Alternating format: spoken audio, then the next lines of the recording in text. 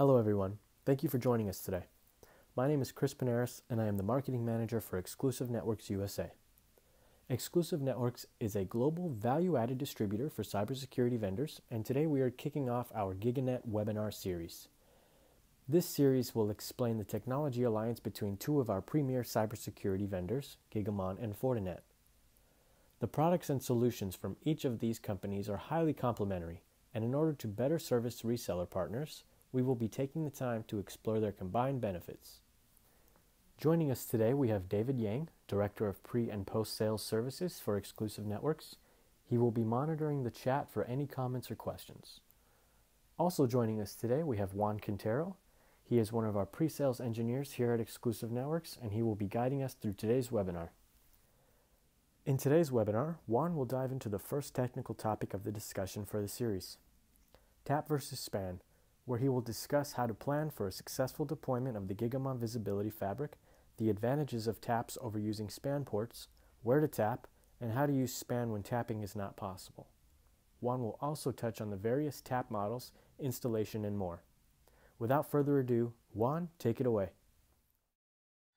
So first things first, I want to give everybody an idea of the things to come and what we hope to accomplish with each of the stages of the webinar series. So in this slide, we're gonna have to take, um, take a, a look at a brief look at that. So we plan to have three stages or seasons to the series. The first seasons will be all about introducing the Gigamon Visibility Fabric to our partners, and we will do that in a hierarchical way from the bottom up.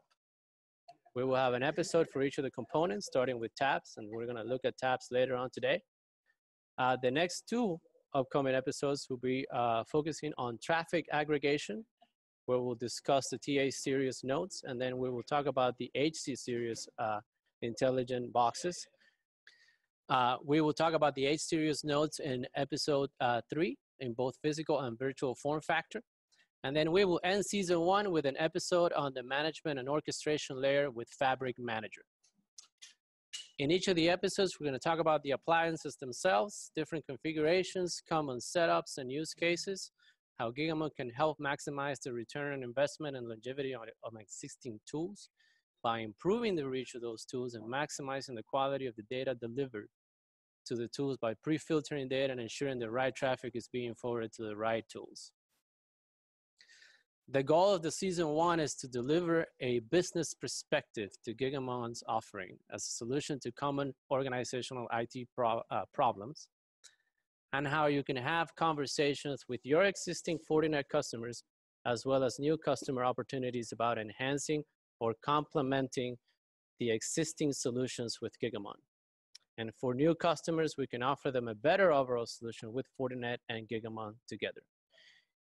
In season two, we will take a more technical approach. It will target the HC series heavily, focusing on specific building materials and configuration details to meet specific use cases. So what I've done for that is number one, I've reached out to Gigamon uh, for them to give me information about the most commonly distributed solution configurations. But I also want to reach out to our partners, and that's going to be you guys, uh, in regards to problems that they encounter where they think that Gigamon could be a solution and have our partners give us information about those use cases so that when we can discuss them uh, in our episodes. So stay tuned for that and please provide us some feedback so that we can use that for upcoming episodes. In season two, we will also have at least one, maybe more than one uh, episode dedicated to Gigamon Insight, which is the new network detection and uh, response platform for Gigamon which will be using the HC1 box as a network sensor next year. We'll look at the HC1 later on today. Insight is a SaaS-based solution designed by responders for responders, and it is un a unique cloud-based NDR solution that gives the user a broad situational awareness in combination with real-time access to historical data to accelerate threat detection and response. So good correlations, fast queries for threat hunting, less time spent determining root cause. So for those of you who are thinking about um, offering, you know, managed detection and response to your customers, um, if you have Gigamon on the customer's network, you can now use it also to send information to your NDR and offer your clients more services.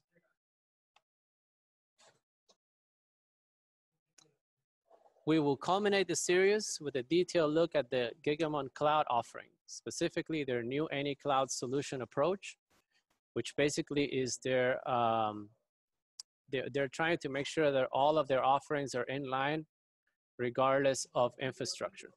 So season three will be all about building and deploying a multi-cloud environments. We will also cover some of the, their upcoming projects and new technology developments. And we will talk about their new floating licensing model, which allows the floating of licenses between nodes. Licenses traditionally have been tied to the physical or virtual nodes themselves, but that will change. Um, we will actually discuss that before season three, towards the end of season one, when we talk about management and orchestration. Uh, but since that initiative is kind of being deployed out in stages, we will kind of touch on it or come back to it as more features are made available. We will have uh, demonstrations both in season two and three. All right, so the content for today, um, essentially, you know, we're gonna talk about, uh, we're gonna have a, an overview of the fabric to make sure that everybody has a solid foundation. And then after that, we're gonna talk about taps. So what is Gigamon? Gigamon is a network packet broker, also known as a visibility platform or traffic and security delivery platform. So all those names fit, and they basically help you maximize, uh, maximize the, useful, the usefulness of your security tools. So Gigamon is basically a, a fantastic tool for giving an organization pervasive visibility into their network data across a multi-environment distributed infrastructure. So how does Gigamon help you? So Gigamon gives you access and control over your data.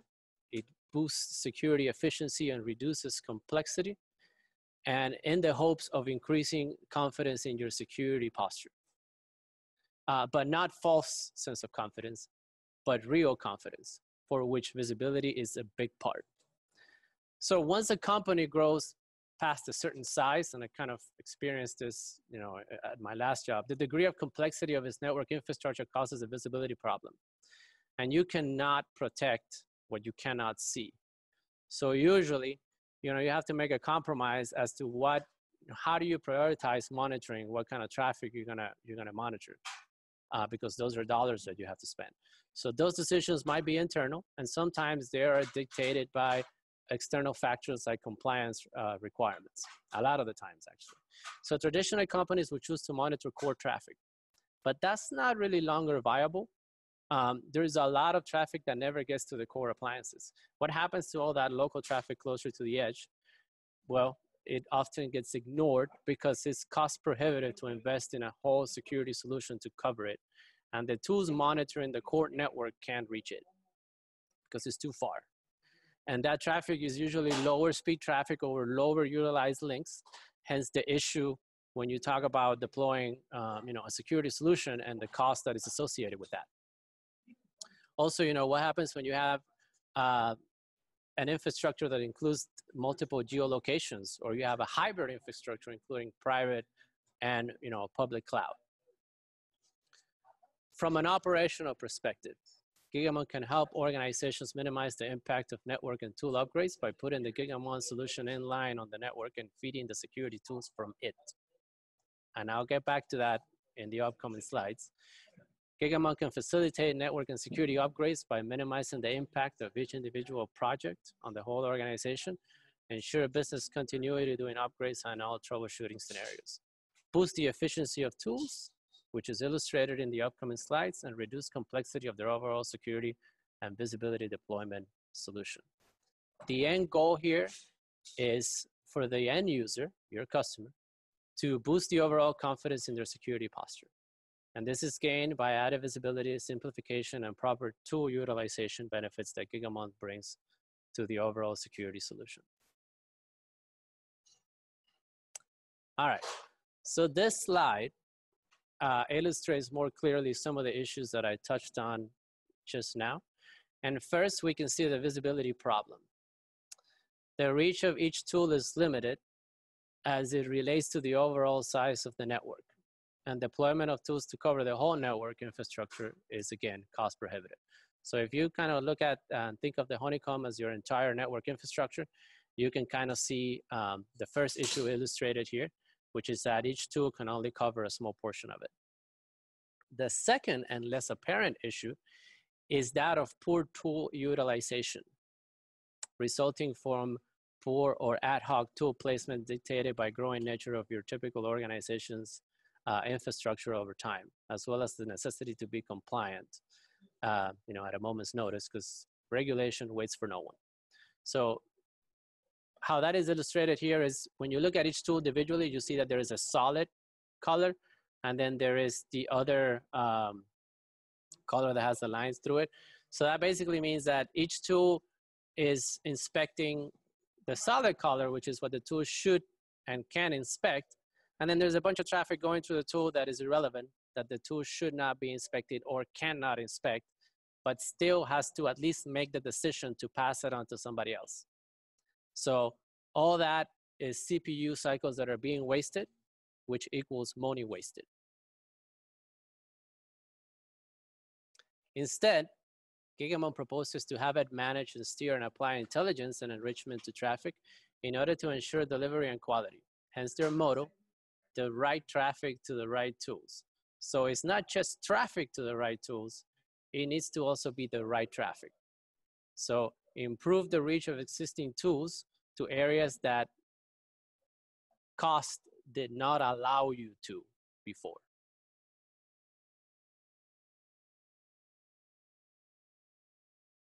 All right, so these next couple of slides kind of illustrate the previously discussed issues from a different view.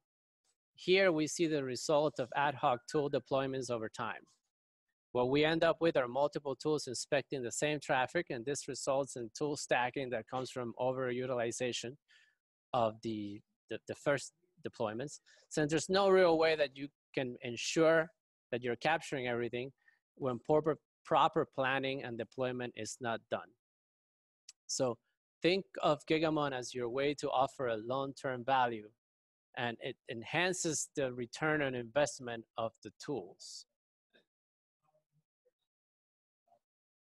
So this is what proper planning would look like with Gigamon becoming the central collection point, applying intelligence and data enrichment and distributing traffic accordingly. And this slide also illustrates the very simple result, which is up here on the top right, you have less tool stacking. So less tools doesn't mean less sales for our partners because the money is going to be spent. It means that the money is going to be spent in a better way. In poorly architected environments, it will be very difficult to revise and upgrade or even do POC for new tools because any changes are going to result in downtime that the customer cannot afford. If Gigamon is deployed, then the any future updates will be easier to plan. They will be, uh, you know, take less time to deploy it and they will be cheaper, so more financially feasible. And we'll get back to that. So I am going to also briefly talk about some of these features here on the bottom right. Uh, first, let's talk about inline bypass.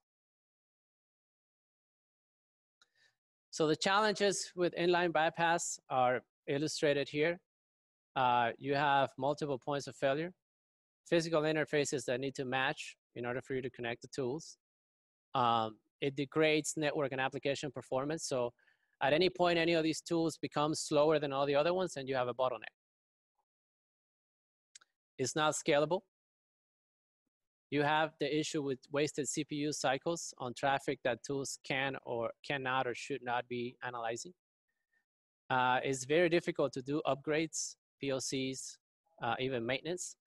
And then tools that are placed in line cannot be moved to out of band operation because again, any changes here would mean disruption in the network.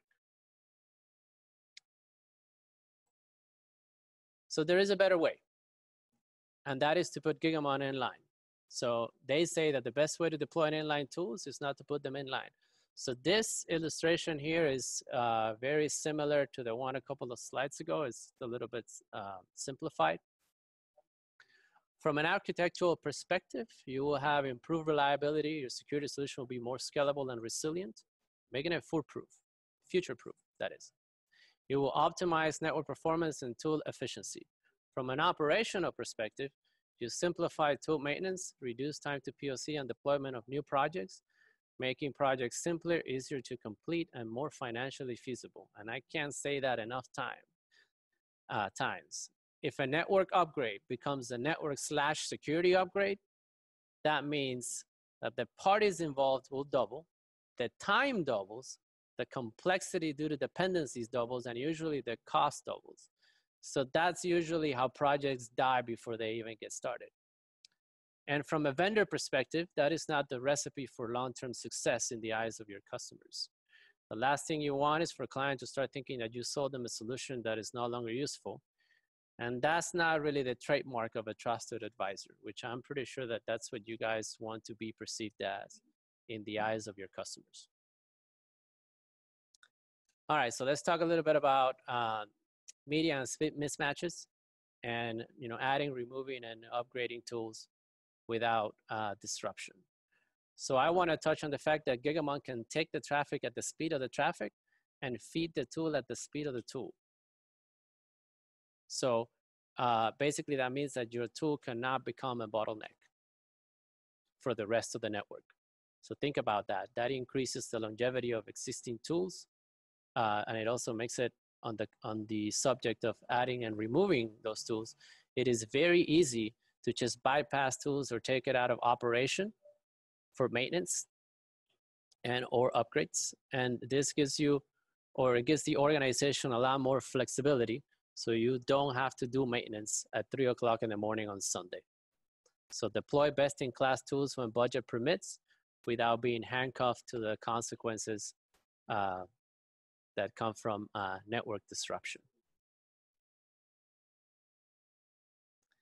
All right, so next I want to talk about NetFlow and metadata. So as enterprise networks continue to grow and network speeds continue to increase, the ability for business critical appliances to consume and analyze the additional data that is being generated is diminishing at, in equal proportions. So threat complexity is requiring security devices to take on more complex analytics and is causing more strain. So already scarce compute uh, on appliances that could barely hang on at 10 gigabits per second, you're now asking them to deal with 40 and 100 gigabit per second networks. So essentially the problem is too much data and not enough compute. So the answer is metadata. NetFlow is a form of metadata. It's layer four generated data that can increase visibility into traffic across systems and it's usable and is used to build relationships, correlations, and usage patterns between nodes on the network, but only if produced in the right way. So while routers and switches are capable of generating NetFlow metadata, they were not designed to do that for every packet. And this creates challenges and limitations. Not only is a router or switch generated NetFlow sampled, but it is also inconsistent in format and requires processing overhead that can introduce service degradation and latency and uh, drop packets. Additionally, even if you were to solve the processing issues, NetFlow is only layer four, and organizations need layer seven application level metadata in order to achieve pervasive actionable visibility and successful analysis. Gigamon can generate both layer four and seven metadata. And the key differentiation and benefits is that NetFlow is unsampled. So it supports a range of NetFlow formats, including version uh, 5, 9, IPFix, and CEF for seamless integration with an unlimited number of standard-based collectors, storage devices, and SIEMs. So your FortiSIEM, your Splunk, your uh, QRadar. It is done without causing any processing overload or performance degradation. Additionally, Gigamon has extended IPFix to include not only standard information about traffic like source and destination, um, IP addresses and ports, but also application-specific extensions such as DNS, URL, and HTTP response codes. Uh, to eliminate the, the risk of uh, spending expensive production network resources in generating this data, Gigamon has enabled uh, operators to offload metadata generation to an out-of-band solutions like the visibility fabric. With Gigamon's flow mapping technology, you can also uh, pick and choose from flows to generate net flow and metadata statistics while at the same time you're sending that original traffic, those original packets, to other monitoring tools. Operators can also export NetFlow records plus other network data to multiple collectors concurrently, creating a single flow source for business critical management applications such as uh, security, billing, capacity planning, and more. And finally, they can filter exported flow so that collectors only receive the specific records relevant to them. So again, kind of to recap, you have pervasive visibility with net flow generation across the entire network. So security performance monitoring tools get complete view of the network versus isolated view from individual segments generated by specific networking appliances. You have high throughput, so now performance impact coming from the generation of net flow uh, on, on the networking appliances because they're not doing it. Unsampled net flow. So let me say that one more time. Unsampled net flow. Uh, support for a wide range of NetFlow export formats. Uh, also ingress filtering on layer two, three, and four headers using Gigamon flow mapping and support for uh, multiple collectors with customizable templates and filters. So in the next slide, these are some of the uh, metadata generated. I'm gonna let you guys look at that for a couple seconds and catch my breath, drink some water.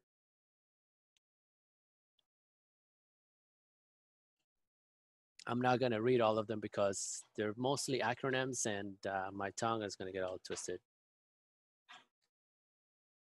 All right, so. Let's move on to one of my favorite cases uh, for metadata generation.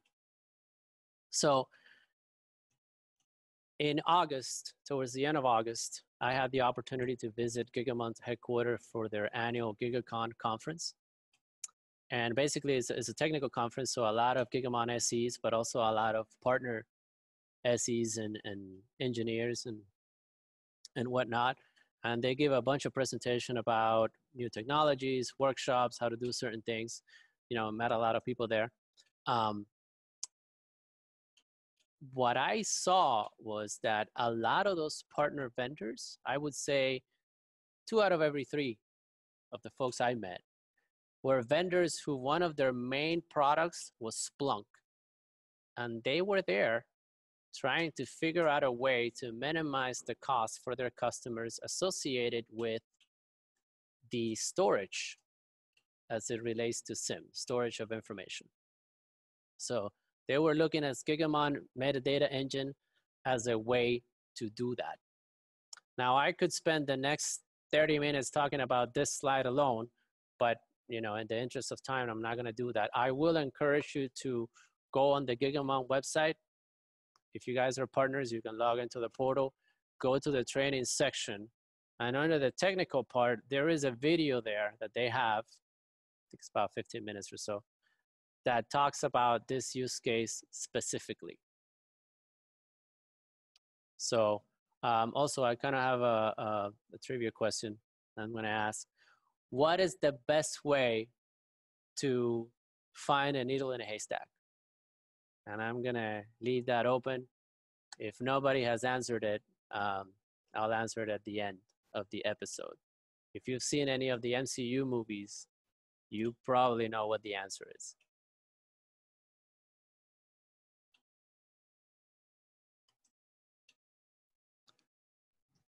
All right. So visibility is not the end game. Now, visibility is a means to do something. Now that you have expanded your reach and you can access more than ever before, you have the ability to manipulate and steer traffic to where you want it to go. You can apply intelligence, which means you can leverage Gigamon's application database. They have over 3,000 applications mapped out to see what's traversing your network. You can generate metadata for your tools, and you can also steer your traffic, which is what this slide illustrates. So for example, if you have a lot of UDP traffic like Netflix, YouTube, and let's assume there's nothing bad in there, and you want to just bypass all your tools, you can do that. Or furthermore, if you don't think anybody should be looking at that in your organization during working hours, you can just drop that traffic. And when you look in, when you log into your security tools, they won't even see the traffic because it's going to be dropped before it even gets to them. So again, you maximize the efficiency of your tools by making sure they're looking at what really matters. All right, so hopefully all of you guys are um, familiar with the man in the middle attack. So this is the Gigamon in the middle. And this slide is all about SSL TLS decryption, which is one, along with metadata generation and deduplication, which will get its own, uh, we'll talk about in, in, in upcoming episodes. Some of the most common use cases for uh, Gigamon. So, you know, the, the whole thing here, the whole message here is decrypt once and feed to a multitude of tools that need encrypted traffic. And I'm gonna ask another question. What happens to a FortiGate or any other firewall when you turn on deep packet SSL inspection? We'll get back to that. So this slide is kind of an overview of the Gigamon um, fabric. Down here you have all the nodes in physical and virtual form, followed by all the core intelligence features, which are available in most of the components. And then up here you have the GigaSmart features. So those are the intelligent feature licensing that you can apply to the HC boxes. And they'll be discussed in more detail when we talk about the HC series and we'll have uh, some demos about all of that. And then on the sides here, you have Fabric Manager, which we'll talk about in the management and orchestration episode, and Insight. This is a hierarchy, uh, hierarchical view of the fabric. You have your taps, aggregation, your HC series, and your fabric manager. All of these are available in physical and virtual form factor. And then this is kind of like a little view of what the GUI looks like.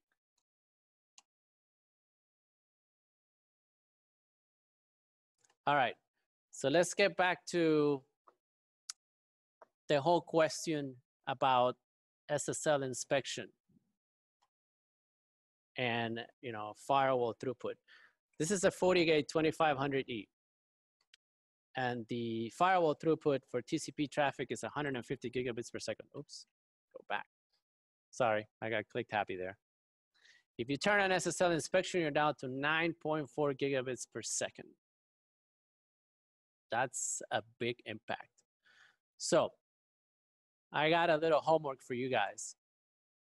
So after you know we're done with the episode or whenever you have time, go on the Fortinet website and look for a FortiGate that can do SSL inspection, not just certificate, but deep packet inspection at somewhere around 100 and something gigabits per second.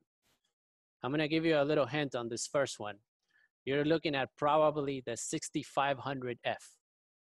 And then contact your distributor of choice, which hopefully that'll be us, and you know get a quote on both models with similar licensing package, and calculate the difference.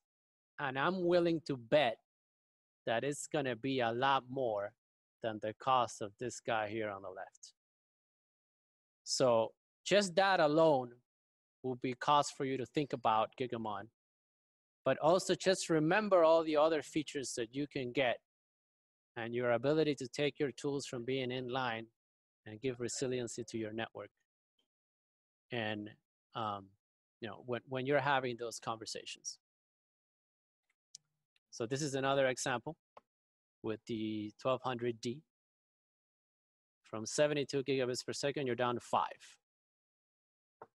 And with the 200D, from 20 gigabits per second, you're down to 820 megabits per second. And I want to highlight the HC1 because I think this is going to be a real hot seller for our partners once they become familiar with Fortinet. Because in addition to the features that it offers, by itself. This is gonna be the sensor starting next year for Insight. So again, for all of you guys who are thinking about managed detection and response and you know offering services, you will be able to do decryption, inline bypass, deduplication, a lot of those things. And in addition to that, send information to Insight to provide even more benefits for your customers. And these boxes, as you can see, they are modular and customizable to fit whatever use case you are trying to solve or whatever problems you're trying to solve. All right, so let's get to why we're really here today, which is uh, tap versus span. So, you know, very simple. Taps are better. The end. You guys can all go. All right, so um, if I could, I guess, synthesize this into a few words, I would say that taps are better because you get the whole picture. So in the words of Gigamon, you know, tap when you can and span when you, when you can't. That's, that's the only reason. So let's look at this overly complicated mathematical equation here on the top. So one gigabit equals a thousand megabit and that's 60% of that is 600 megabit times two is 1.2. If you send that to a span port, you're gonna have about 200 megabits of data that's dropped. So a single switch port running bidirectional traffic at 60%, that means you're gonna send 120% to a span port. And that's not a good thing. And you will have at least 20% that is gonna be, uh, of the data that's gonna be dropped immediately. So if a dozen or so similar ports are aggregated to a single span port, only a fraction of that data is ever gonna get to the monitoring tools. So obviously with passive taps, which are on power, they run for years without failure and are the preferred kind. Uh, that hardware design eliminates oversubscription while capturing every packet in order. And of course, it should be noted that to insert a tap, you do need to bring the link down. So make sure you're doing so during a maintenance window. So here are the 10 commandments of tapping. I'm not gonna read all of them, uh, but I do wanna highlight some. Uh, number one, you are creating an exact copy of bidirectional network traffic at full line rate. So you get full fidelity. You have continuous access to traffic, and in the case of passive taps, they require no user intervention or configuration. Span traffic has the lowest priority. So remember that because networking appliances at the end of the day, they're there to provide networking, connectivity. Legal regulations or, or corporate compliance sometimes mandates that all traffic for a particular segment be monitored. Can't do that with a span port.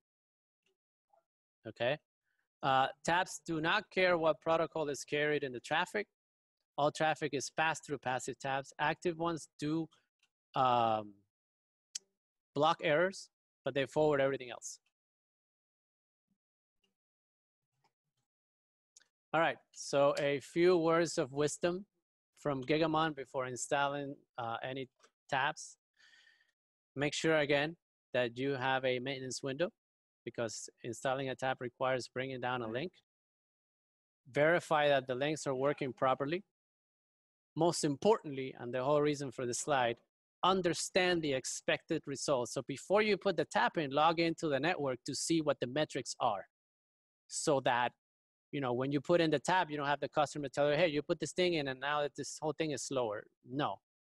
On the you know record those metrics before you install the tap and then that way you know what to expect after the fact and of course don't look at the lasers All right, so passive taps. They require no power of its own and does not actively interact with any components of the network. It uses an optical splitter to create a copy of the signal. Most passive taps have no moving parts. They're highly reliable and require no config. A traditional method to split the light is to fuse or melt two cables together such that a portion of the light is funneled to a secondary stream. And this technology is called uh, FBT. The concept is similar to when you have a river that hits a fort and a portion of the water continues in the original direction while the rest takes an alternate path. path. Both forks of the river continue to flow downstream. And like water, light is also uh, directional. As a result, FBT tends to pass the traffic one way. And it tends to be a low cost, works well for lower speed cable plants. A second splitter type uses thin film technology. And the concept here is similar to shining uh, a flashlight through a glass. Although the majority of the light goes through the window, there's a portion of the light that is reflected back as it hits the glass. And if angled properly, uh, there's, there's a membrane that cuts across the fiber and will copy a portion of the optical signal, signal to the monitoring port. Thin films reflective technology tends to be uh, tends to have a lower loss rate when working with high speed links such as you know 100 gigabits per second. Common split ratio for traditional one gigabit short range links is 70-30, where 70% of the light continues to network and 30% is allocated to monitoring ports. The concept is to allocate more light to the network to reduce this risk of, of you know, dropping network uh, traffic because again, you know, the whole point of networking appliances is to route traffic primarily. Speeds such as 10 gigabit, 40, and 100 have different technical requirements and they tend to be uh, more of an even split, so more like 60, 40, 50, 50. Uh, the most common split ratios deployed in networks today, because again, all networks are getting faster, are closer to 50, 50, uh, provided that you have you know, the, the proper levels of light available. And the instructions are very simple. You plug in the duplex cable from the first device to X-Link, plug in the second cable from device Y and then attach the cables to the monitoring ports. There's no actual configuration of the tap. All right, active taps. Active taps require their own power source to regenerate the signals. There is no split ratio consideration because the tap receives the message and then it just retransmits it to both the network and the monitoring destinations. Important, this is very important. During, a power outage, an active tap cannot regenerate the signal, so it becomes a point of failure. Hence, passive taps that are not powered, obviously, they are preferred. Now, some active taps uh, do incorporate bypass or failover technologies to mitigate this issue. Sophisticated models offer battery backup to extend usability during uh, power failures. When the battery begins to die, some of the taps offer additional failover capabilities. For example, electromagnetic relays that fall into place to physically close the link to allow traffic to continue. Now, you're not going to have monitoring, but you're also not going to have traffic disruption. Uh, I also want to mention that when that happens, there is a renegotiation that takes place, so a few packets could be affected. Uh, TCP transmissions, you probably won't tell the difference. UDP, you might. So as long as the drawbacks of power failure are fully understood, uh, active taps provide excellent value and extend visibility to sectors of the network that would otherwise go unmonitored. And these are the instructions to set up this particular model. There's some lights in the back that you wanna make sure they're on. You can also even configure um, management so you can access it remotely. And as you can see, it's, it's very simple. And this is a illustration of how the traffic uh, flows. All right, that's pretty simple, right? So what could possibly go wrong? this is almost exactly like a picture that I have from my last job. And here we're talking about misconnecting, mislabeled. Talk about no labels. Um, you know, I walked into a cabinet one time and it had a uh, it was a Cisco 6500 chassis, and no labels on, on, on the fiber. So, you know, one of the most common problems that you have is that you think you did everything right, and then there's no data coming or, or wrong data coming to the monitoring port. Make sure that your connections are good to go. Also, going back, uh, something I forgot on the previous slides. For best results, make sure that the cable types should be consistent across the whole flow that you're trying to monitor. So match the cables. If you're doing multi-mode, multi-mode. If you're doing single mode, single mode. All right, so that's pretty much all I got. Um, hopefully you guys got something out of the uh, webinar. If you didn't, please let me know so I can do better. Uh, these are the sources, which obviously when we share the whole presentation, you guys will be able to uh, go in there. I kind of highlighted this one. This is, I believe, an eight or 10 page document on taps. I highly encourage everyone to give that a read because it's all meat and potatoes about why tap, how to tap, all that good stuff. A lot of what I covered today is from there. And then some of the other sources obviously um, are on the Gigamon and, and Fortinet websites. Again, remember there is in the training section of the Gigamon website um, videos specifically talking about not just the metadata use case for SIEMs, but also about eight or nine other use cases that solve common IT problems today. So, um, you know, give those a try. This is our contact info. So I know that we are kind of at the end of our time for today. Uh, you know, if you guys have questions, uh, or if you have some questions and then you have later more questions, please, uh, you know, bring us your questions so you know we can go over them. And uh, that's uh, that's all i got. David you, you want to add anything? Simon? You, appreciate it i hope uh, everyone get uh, what you need today um, we also have uh, oh wait david wait yes go ahead brian you bring a big magnet that's uh, that's from Tony Stark. so I think that's in the Age of Ultron movie. So yes, thank you, Brian. Good job. Good job, Brian. Thank you, Juan, again. Um, and as everyone know, we have other uh, following session regarding the Gigamon and Fortinets. And hopefully you all get the email from us. And please go ahead register. If you feel any uh, interest in any other pro uh, topics, please feel free to contact us tell a friend. at any time. Uh, yes, please uh, tell your friends, uh, your associates, your colleagues, and join us.